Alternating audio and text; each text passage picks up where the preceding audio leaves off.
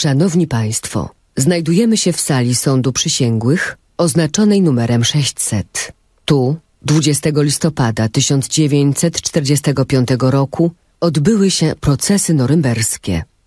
Prosimy o zajęcie miejsca na jednej z ław dla publiczności.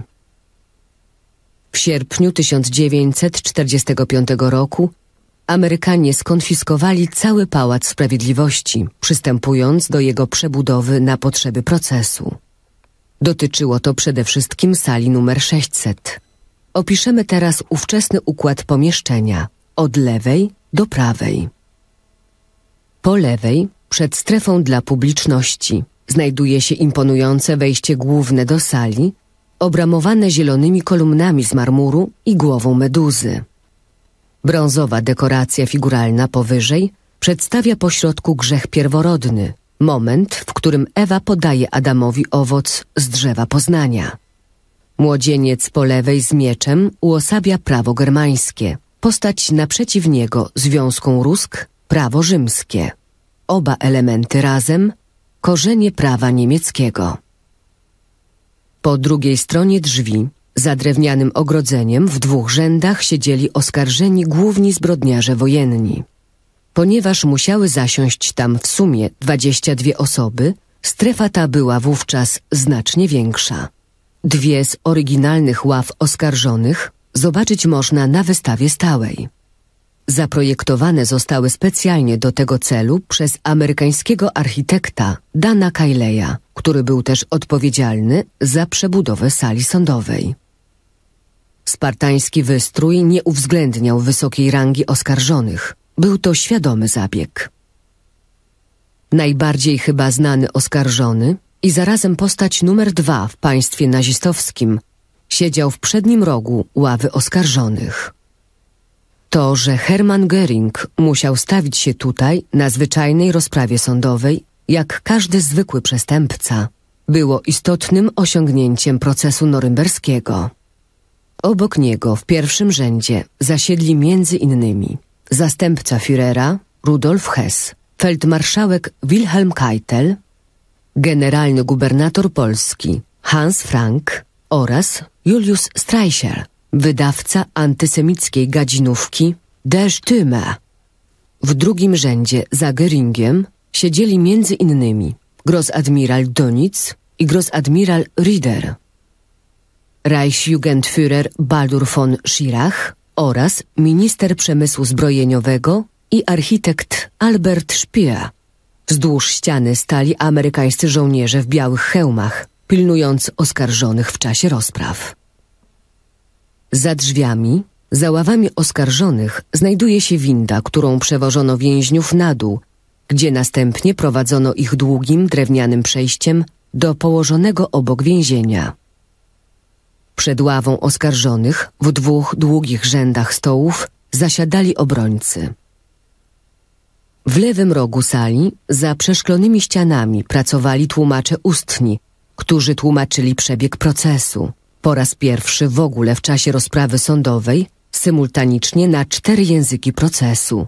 Na język niemiecki, angielski, francuski i rosyjski.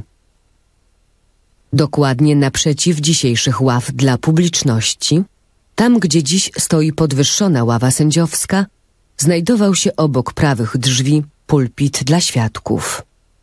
W miejscu tym zeznania świadków ujawniały zbrodnie popełniane w Polsce, Francji i Związku Radzieckim w czasie niemieckiej okupacji, mord na jeńcach wojennych i deportację ludzi do pracy niewolniczej w nazistowskim przemyśle zbrojeniowym.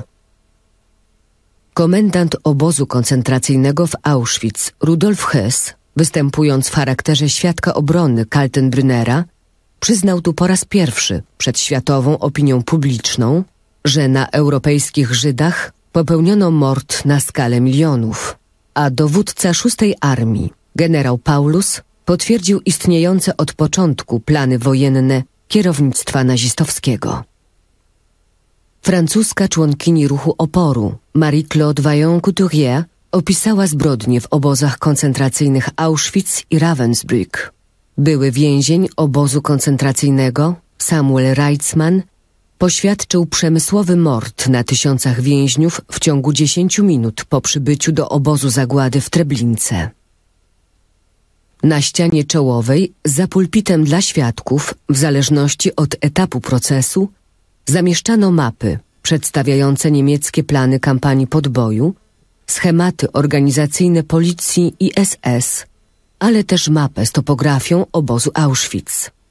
29 listopada 1945 roku wyświetlono tu na ekranie nagrania filmowe z wyzwolonych obozów koncentracyjnych oraz miejsc kaźni.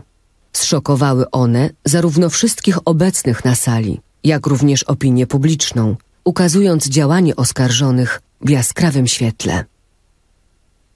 Po prawej stronie sali, na podwyższeniu, z dużymi oknami za swoimi plecami, siedzieli sędziowie czterech mocarstw alianckich. W rogu po prawej, za stołem sędziowskim stali operatorzy filmowi, dokumentujący proces.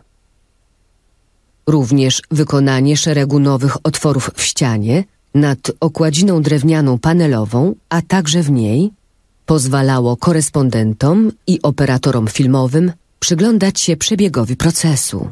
Przed ławami sędziowskimi przy dwóch długich stołach pracowali sekretarze sądowi i stenografowie. Mniej więcej po środku sali stała mównica, z której oskarżyciele i obrońcy referowali lub też przepytywali świadków i oskarżonych.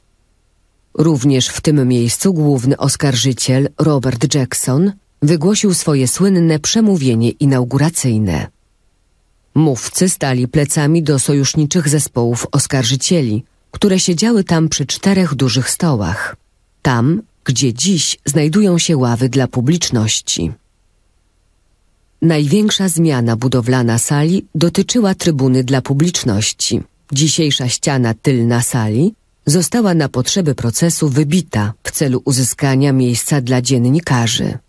Powyżej Amerykanie wbudowali emporę, na której mogła zasiąść publiczność. Dziś znajdują się tam cztery niewielkie okna, przez które można popatrzeć z poziomu wystawowego na salę. Na suficie sali, zamiast wcześniejszych żyrandoli, wisiały duże reflektory. Zainstalowanie ich okazało się konieczne, gdyż okna sali trzeba było zasłonić ze względów bezpieczeństwa oraz w celu umożliwienia filmowania przebiegu procesu. Po 1961 roku, po zwrocie sali, administracja sądowa Bawarii kazała usunąć wszelkie elementy wbudowane i przebudowane. Mimo przywrócenia stanu poprzedniego, sala pozwala wyczuć coś jeszcze z atmosfery, kiedy to po raz pierwszy w historii świata zbrodniarze stojący na czele państwa zostali skazani przed oczami światowej opinii publicznej w sprawiedliwym procesie. Amerykański główny oskarżyciel Robert Jackson powiedział z okazji otwarcia procesu.